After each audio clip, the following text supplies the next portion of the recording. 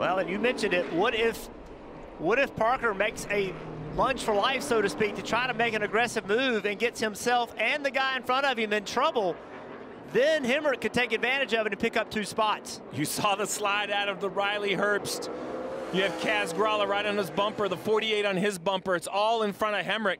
He's oh. hoping for contact. You Kaz saw that Grala. 26. Yeah, a little bit of contact with the wall there. Watch the 48 car. He's got to make a move right here. Parker Kligerman, can he outbrake the car in front of him? It's a long way to go, but he's going to try. He's there.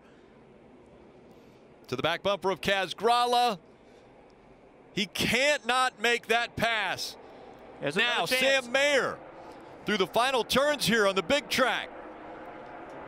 Hemric running in seventh, but might not be able to make it on points. Creed in a great position. Three wins, three career wins, and the most important one, Sam Mayer wins his way to the round of eight.